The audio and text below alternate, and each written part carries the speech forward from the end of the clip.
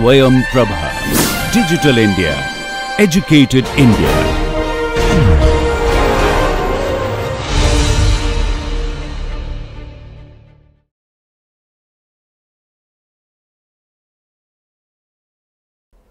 Welcome to Organic Chemistry Paper 3.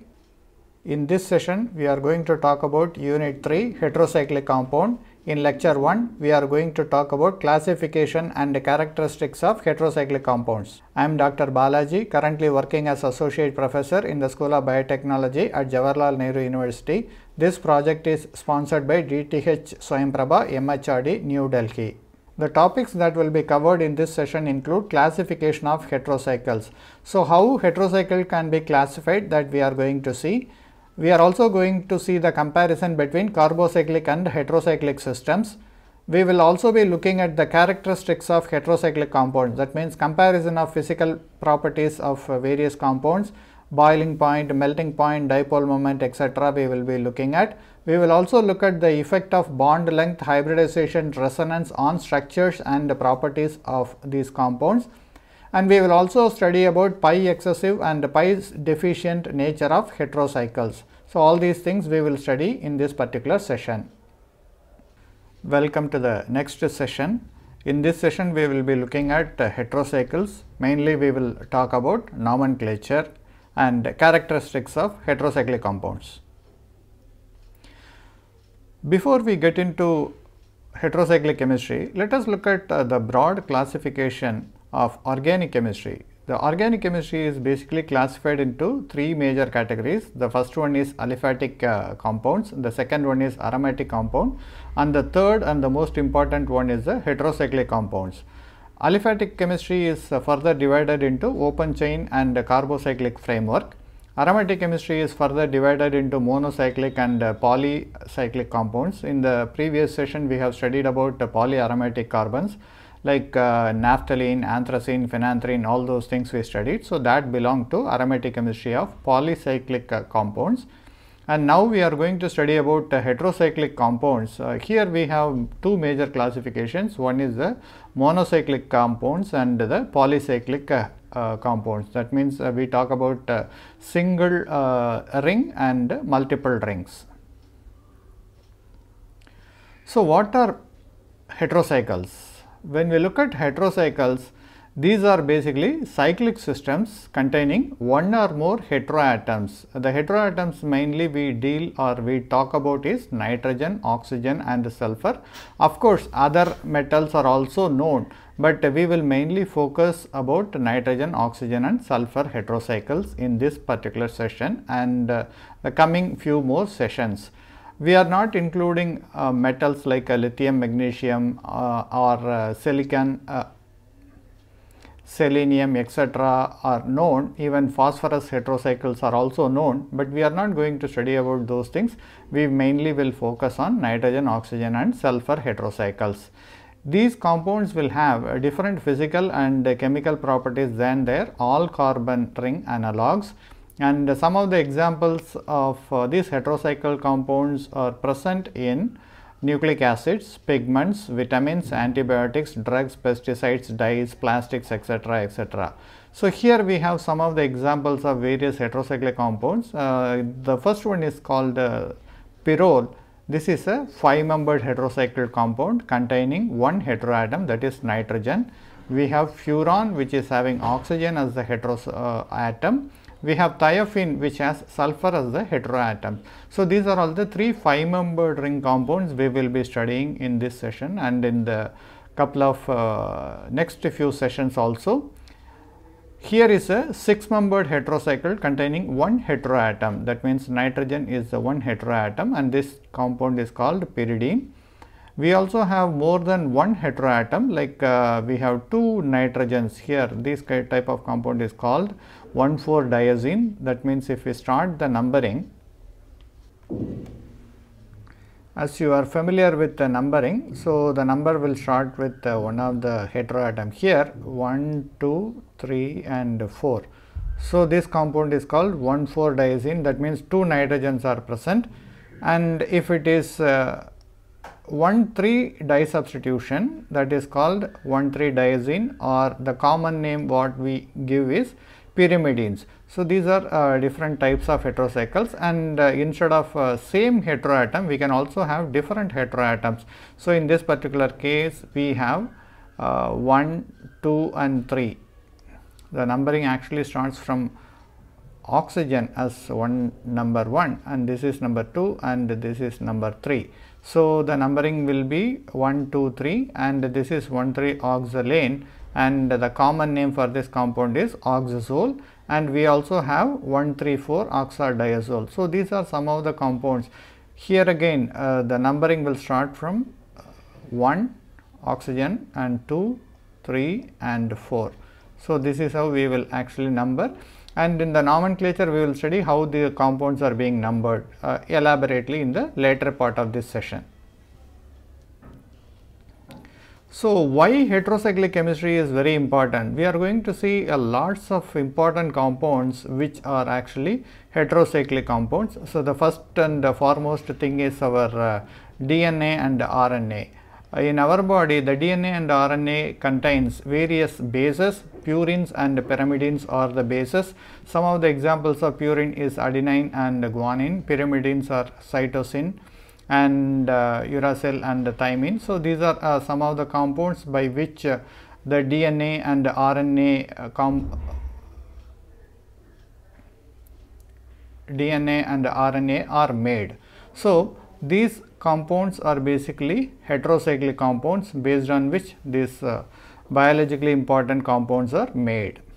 And the next one is another important class of compound which is vitamins uh, riboflavin, pyridoxine, folic acid, biotin etc. all have a heterocyclic ring. So, that is the reason uh, we will be looking at heterocyclic compounds in a much more detailed way. And when we talk about hormones, kinetin, serotonin, histamine all contain heterocyclic ring. And if we talk about amino acids, there are various amino acids that are having heterocyclic ring. For example, proline, histidine, tryptophan etc. are having heterocyclic ring and colored and the pigments when we talk about we have both animal and plant origin. In the case of plant we have chlorophyll which is a colored material that is having heterocyclic ring. And when we talk about uh, human beings and other animal we have hemoglobin that is also having a heterocyclic ring. Then of course uh, pesticides and insecticides which are weed killers like i mean to preserve the plants. We also apply various uh, weed killers and they also have heterocyclic compounds.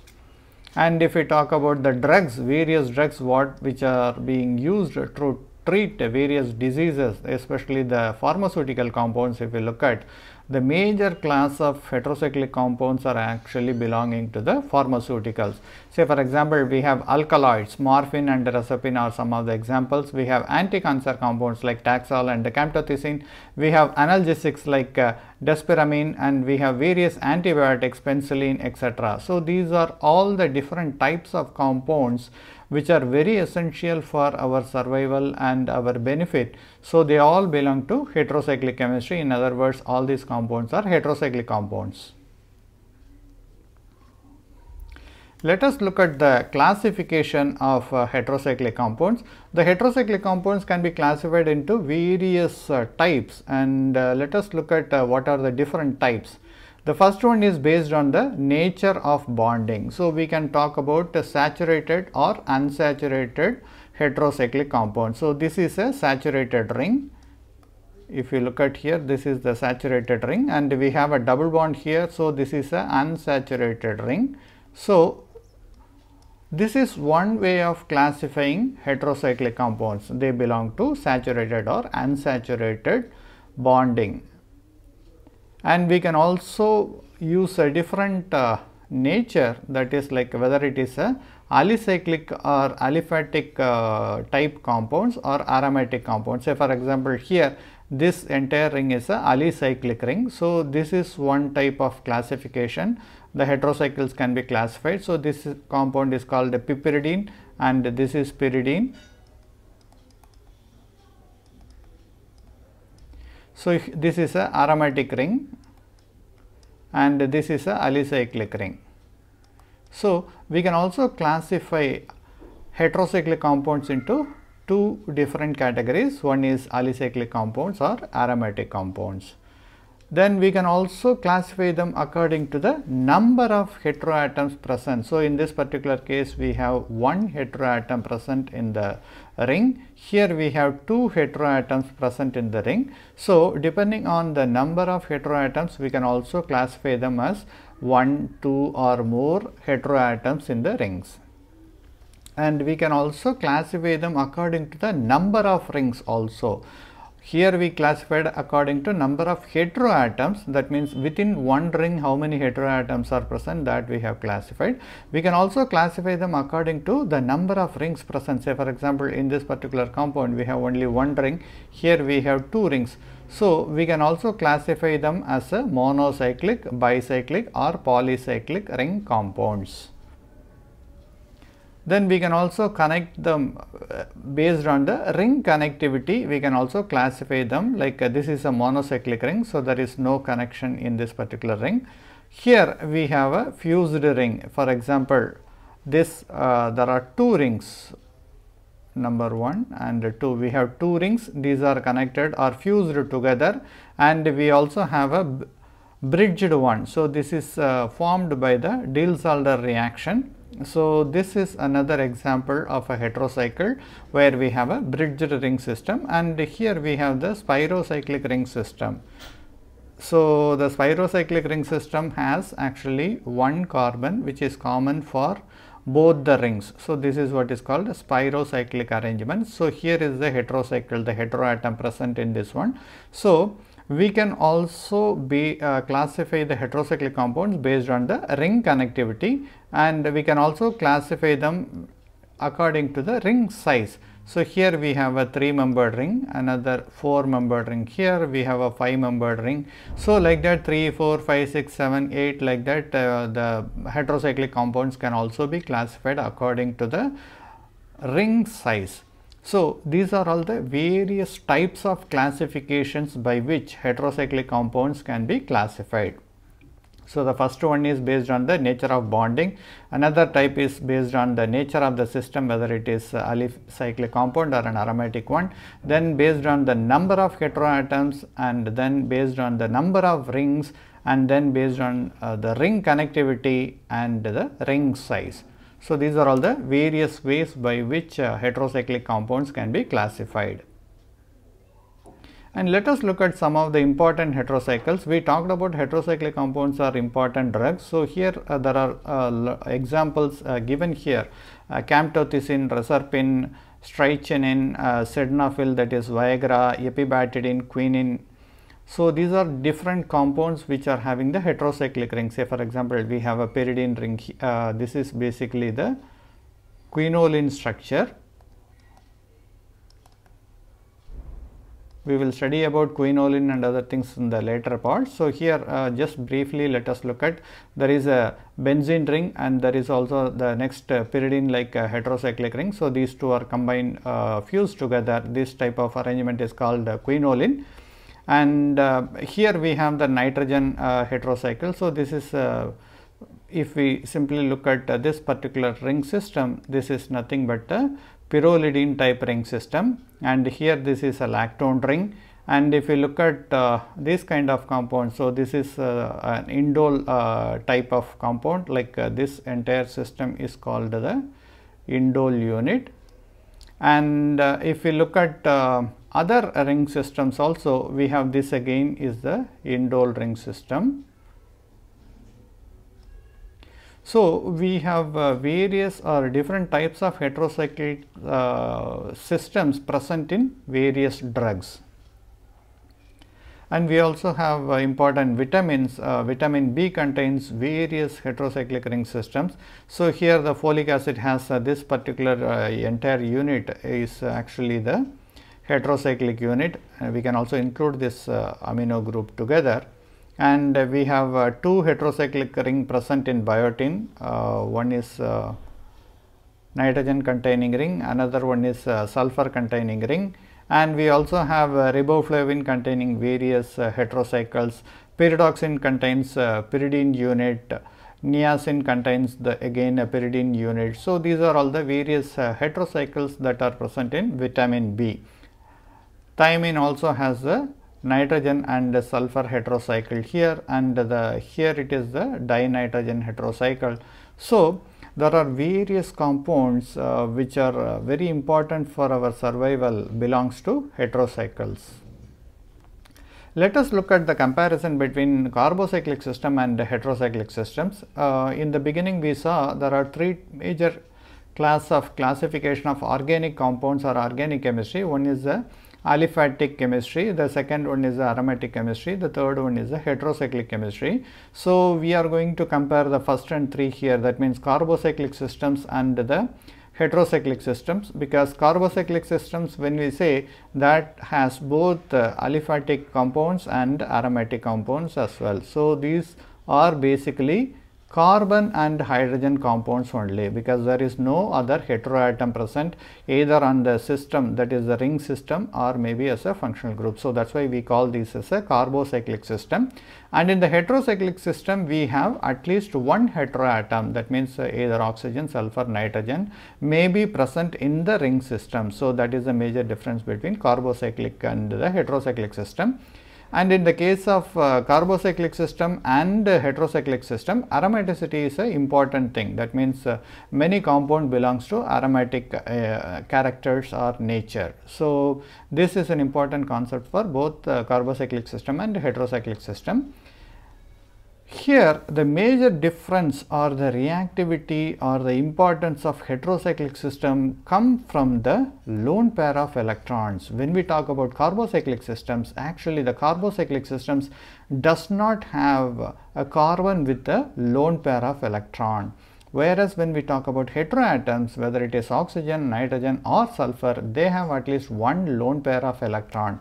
So, that plays a vital role in various reactivity of heterocyclic systems and also changes the electronic nature of the compound. So, this is one of the major difference between carbocyclic system and heterocyclic systems.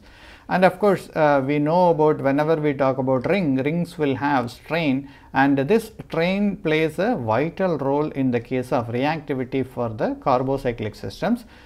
Whereas, in the case of uh, heterocyclic compounds, they are also cyclic compounds. So, the ring strain also may play a vital role. Along with that, steric and the electronic effect also play a very important role in the reactivity because the electronic effect comes from the lone pair that is present in the heteroatom and the steric effect also plays a vital role because there may be some functional groups which are present in the cyclic system.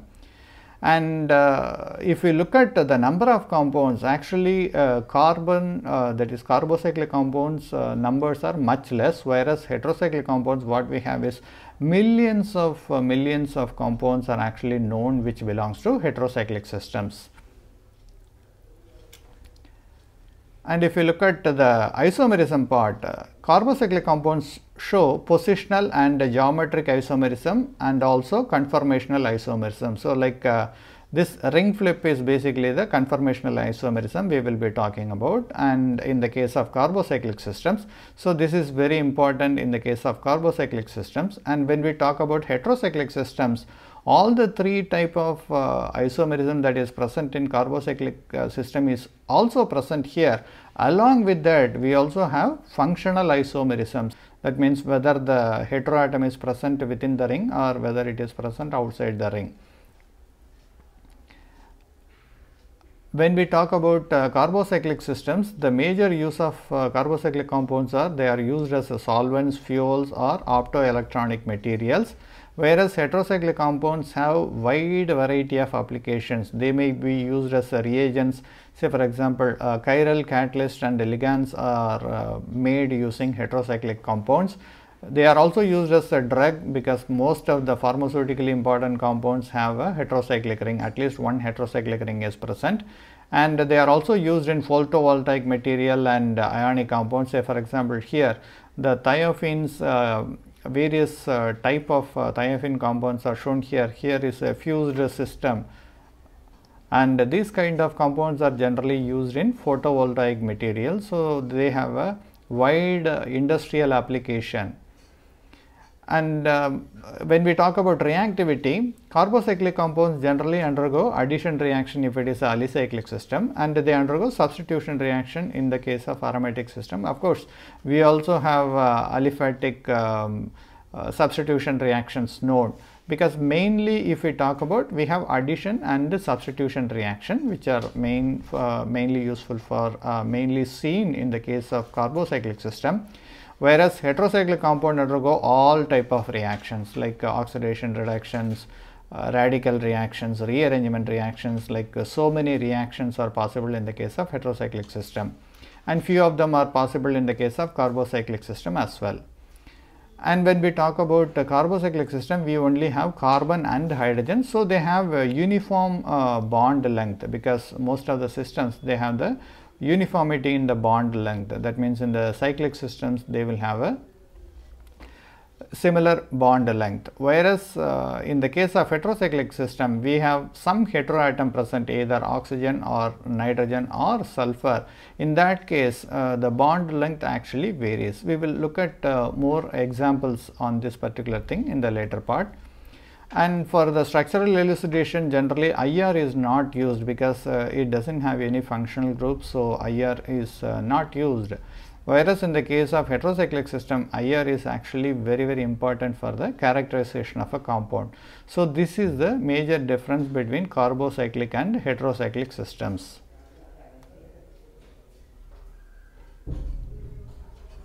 Let us look at some of the characteristics of heterocyclic compounds. Depending on the functional moiety, the saturated heterocyclic compounds and the corresponding acyclic compounds will have similar or different physical properties or chemical properties.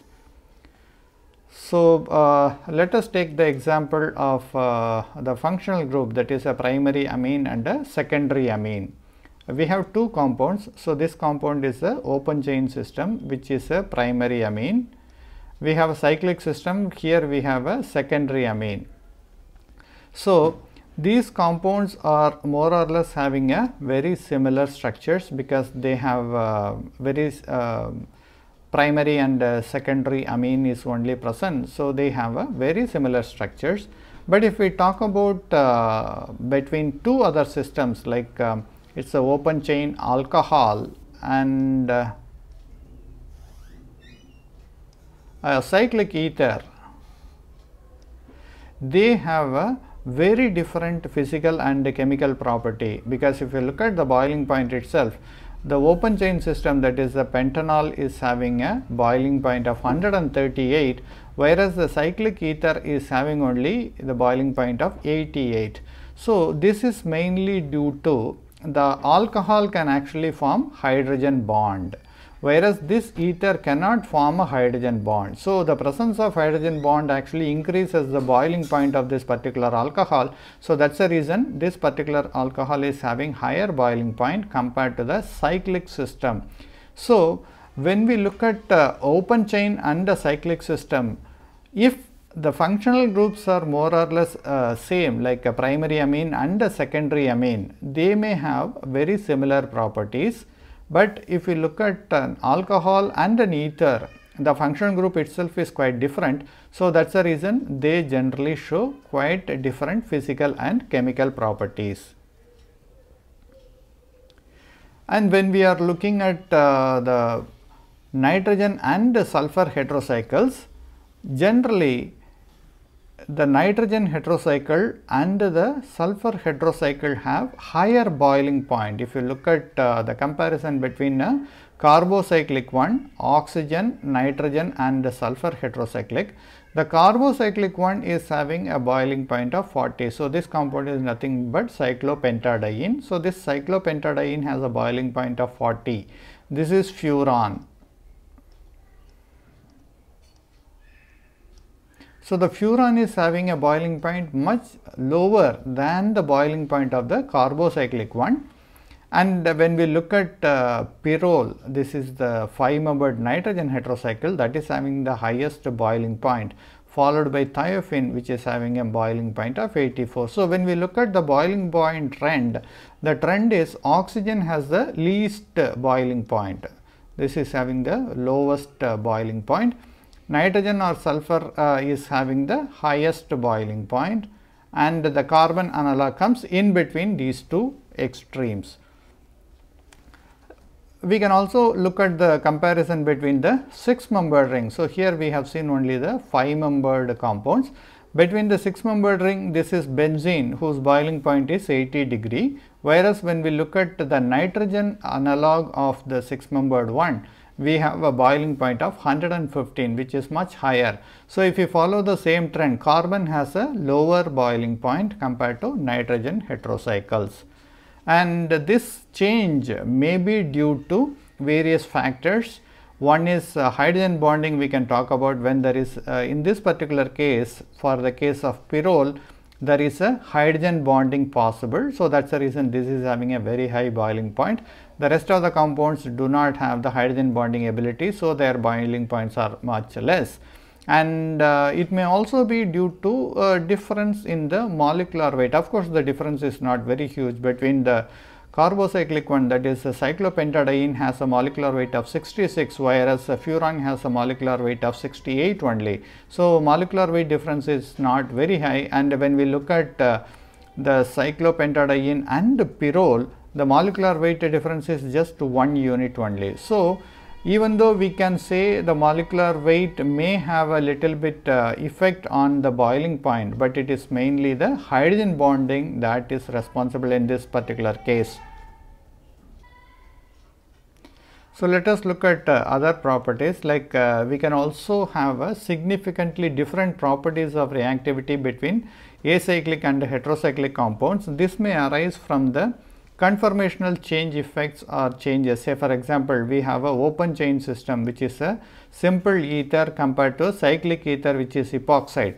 So, the open chain ether is less reactive because there is no uh, conformational uh, rigidity or uh, effect which is present in this particular system. So, that is why this is less reactive whereas epoxide is highly constrained system. So, this is a 3 membered ring having a lot of ring strain. So, that is why this is uh, highly reactive and when we talk about uh, stability this is uh, much more stable that means the open chain one is uh, much more stable compared to the cyclic one that may also be one of the reason why this is uh, whenever it is more stable they are uh, less reactive. So, this open chain ether is less reactive compared to the cyclic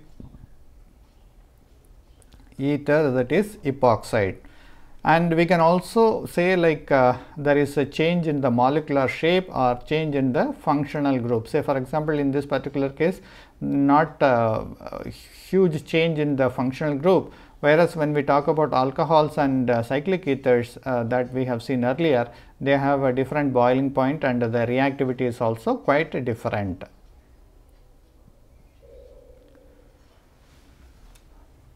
When we talk about uh, nitrogen heterocycles, nitrogen heterocycles are ba uh, basic in nature. So, the basicity of this nitrogen heterocycle may be due to inductive effect or steric effect or solvation effect.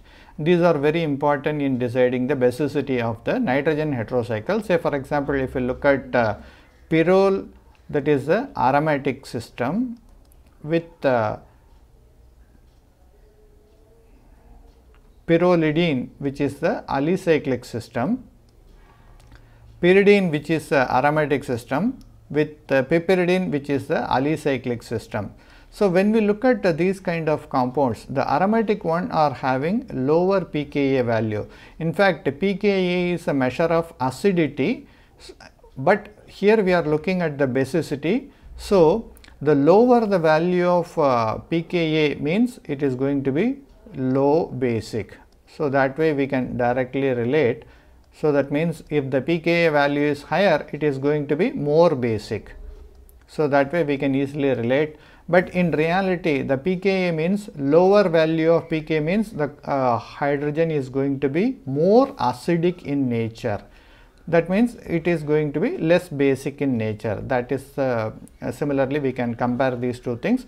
So, pyrrole is having pKa of 3.8 means it is low basic or it is uh, much less basic compared to pyrrolidine whose pKa is 11.27. Similarly, pyridine is less basic compared to piperidine. So, these are all the ways by which we can actually compare the basicity and what is the reason for this difference is basically the hybridization that means here we have a sp3 carbons which are present here compared to sp2 uh, hybridized carbons here where uh, the aromaticity or the delocalization is a very crucial factor. Whenever there is a resonance or delocalization, the lone pair of electron on this nitrogen is actually involved in the 6 pi electron or the pi aromatic system formation. So, that is the reason the lone pair is not freely available on the nitrogen. So, this is going to be less basic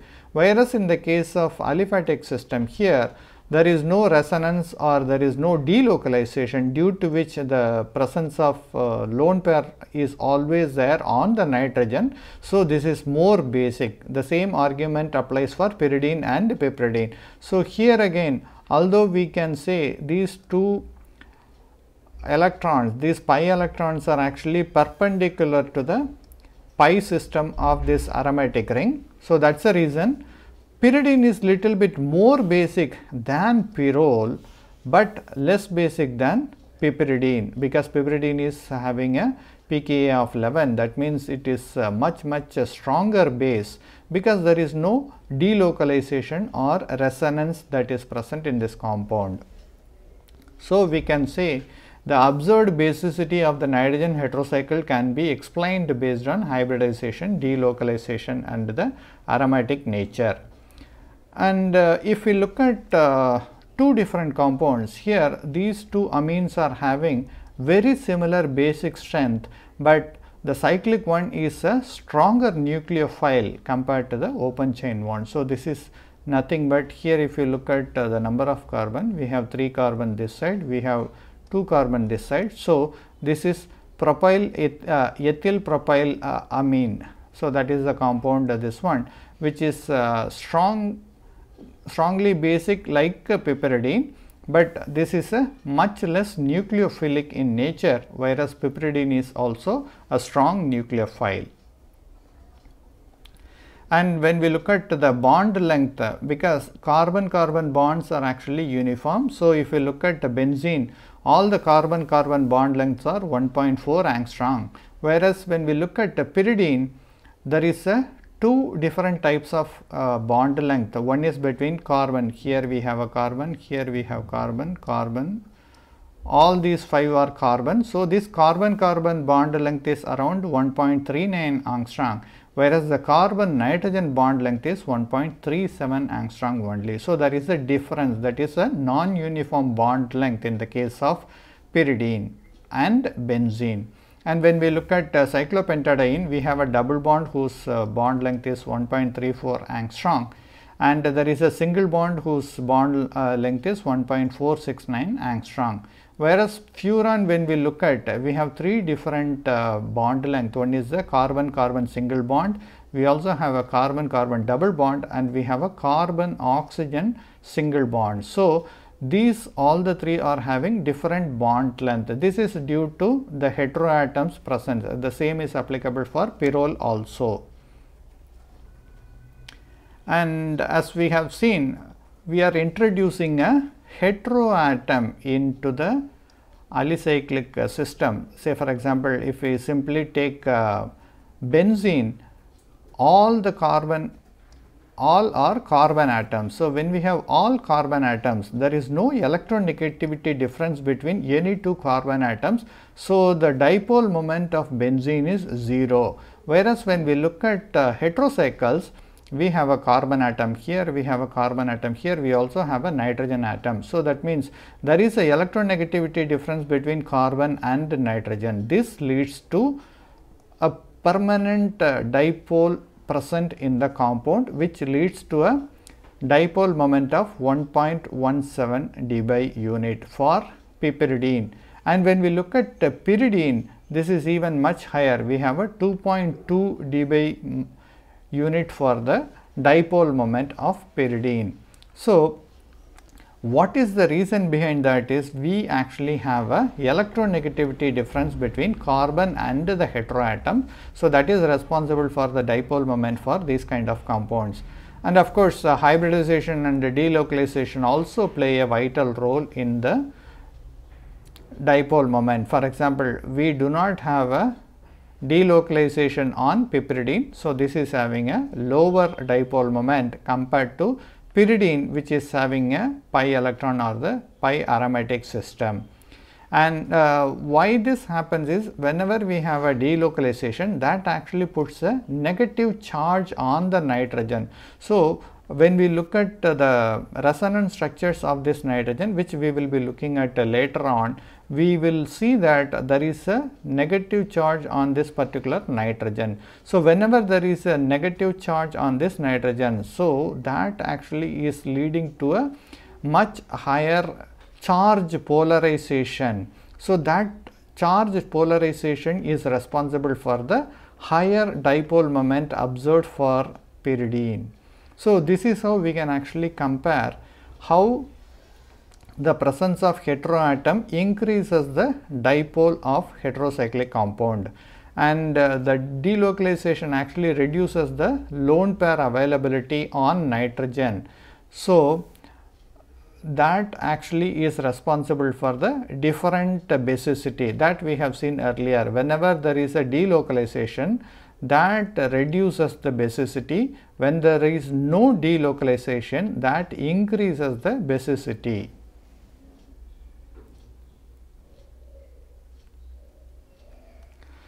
So, when we look at uh, nitrogen heteroatoms, they may have either positive charge, negative charge or neutral. So, here is a pyridine as an example.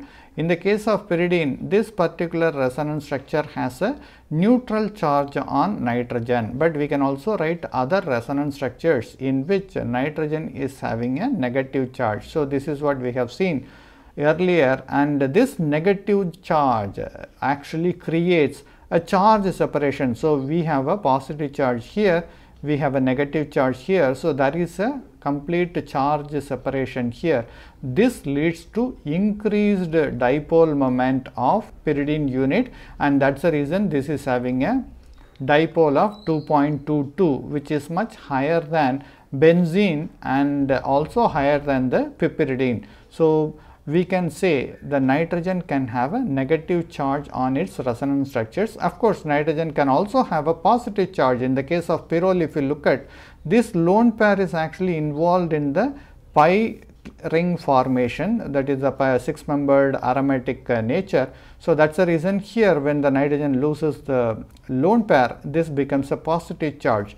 So, we also can have a heterocycle with nitrogen having a positive charge. So, three type of uh, systems are possible. One in which nitrogen is having a neutral charge. So, no charge on nitrogen. So, this is one type. Nitrogen can have a negative charge as in the case of pyridine. Nitrogen can also have a positive charge as in the case of pyrrole. So, these are all the various ways by which nitrogen can exist in the heterocyclic system. But when we talk about oxygen and sulfur atoms, they either have a neutral charge that means no charge or they can have a positive charge only. There is no negative charge on oxygen or sulfur heterocycle. So, here we, we take uh, thiophene as an example. So, here the thiophene is having a positive charge, the sulfur is having a positive charge in two resonance structures and here the pyrylium ion is having a positive charge on oxygen. So, that means oxygen may have a neutral or a positive charge on the heterocyclic systems. And why do we need to know all these things? Because the reactivity of the heterocyclic systems are decided by these kind of various resonance structures and the charge distribution. And if you look at the heterocyclic compounds, uh, many of the heterocyclic compounds which are carboxylic acids or amides, these are solids at room temperature. That means they have a good or high melting point. Niacin is having a melting point of 237, nicotinamide is having a melting point of 128. So, these compounds are not liquids, these are actually solids. And if you compare the melting point of various uh, similar compounds, say for example, we have a nitrogen heterocycle here, another nitrogen heterocycle, we have a sulfur and the oxygen. So, we have three different heteroatoms heterocycles are there and if you look at the melting point of the carboxylic acid the pyrrole uh, 2 carboxylic acid is having a melting point of 204 whereas sulfur is having 125 and the oxygen is having close enough like uh, sulfur. So, that is 128. So, in other words what we can say is the nitrogen can also have additional hydrogen bonding due to which the nitrogen heterocycles are having higher melting point and boiling points whereas sulfur and oxygen may not have that option. So, that is the reason they are having little bit lower uh, melting point in the case of carboxylic acid also. So, how we can actually form a pyridine? A simple comparison is uh, we can actually replace one of the CH group in benzene that means one of the CH group in benzene is replaced by the nitrogen atom. So, when we do this kind of uh, change that we are actually introducing a nitrogen is basically electron withdrawing in nature. So, we are introducing a electron withdrawing heteroatom into the ring. So, what is the effect of introducing a electron withdrawing group into the ring? So, obviously, we will uh, know that whenever we introduce electron withdrawing group, the nature or the reactivity of the system is going to be affected. We really do not know in which direction it will go. And when we look at the reactivity of pyridine compounds, we will actually look at this particular ring can actually undergo two types of reactions. One is electrophilic aromatic substitution as usual like the benzene ring they undergo and they also undergo nucleophilic substitution reactions which are not seen in the case of benzene rings. So, introduction of a heteroatom especially the nitrogen changes the reactivity of this particular system. So, let us look at some of the changes what are uh, happening when we replace one carbon atom with a nitrogen that is one CH group is replaced by a nitrogen atom. Uh, benzene is a hexagonal symmetric compound because we have seen all the bond lengths are uniform in the case of benzene. So, it is having a hexagonal symmetry, but in the case of pyridine the CN bond length is actually uh, different compared to the CC bond length. So, that means we have no longer the hexagonal symmetry that is present in benzene and of course, we also this is the hexagonal loss of symmetry is due to the change in the bond length.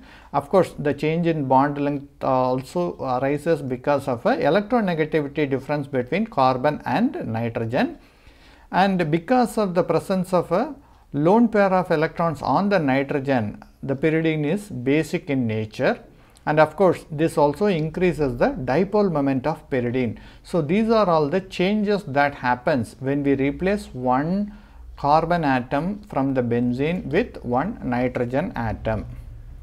So, these are all the reasons why the heterocyclic compounds are more reactive than the corresponding aliphatic or aromatic compounds. When we look at the 6 membered heterocyclic ring, we are introducing a heteroatom which is electron withdrawing in nature. So, since this is electron withdrawing in nature, they actually pull the electrons from the pi ring systems towards itself making that system pi deficient. So, that means the aromatic system becomes pi deficient because of the introduction of the heteroatoms and uh, this makes that ring pi electron deficient. So, that means the reactivity are going to be extremely different compared to aromatic systems. That means, benzene does not undergo reaction by nucleophilic substitution, whereas pyridine can undergo because the ring now becomes less electron rich compared to benzene and there are other cases uh, when we compare benzene with pyrrole. In the case of benzene and pyrrole, there are two carbon atoms uh, that are being replaced by one hetero atom. So, this also leads to a change in uh, various uh, physical and chemical properties. This here we have shown nitrogen as an example instead of Nitrogen. we can also have oxygen or we can also have sulfur and uh, what we are doing is basically in this particular case even though this is a electron withdrawing uh, atom we are introducing we are actually introducing or giving electron towards the ring. So, that is the reason in this particular case what happens is we are introducing some electron density from the heteroatom to the ring. So, that is the reason this ring becomes pi excessive in nature compared to benzene. So, the difference between the 6 membered ring and the 5 membered ring is in the case of 6 membered ring the electrons are being pulled by the heteroatom. So, they become pi deficient whereas in the case of a 5 membered ring they actually give the electron towards the ring. So, they make the ring pi excessive. So, that is the difference between 5 membered and the 6 membered reactivity. So, the introduction of a heteroatom changes the reactivity of the benzene ring.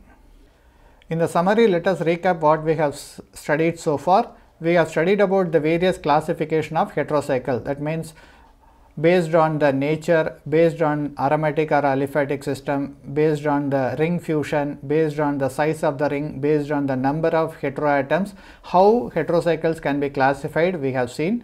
We have also did the comparison between carbocyclic and heterocyclic systems.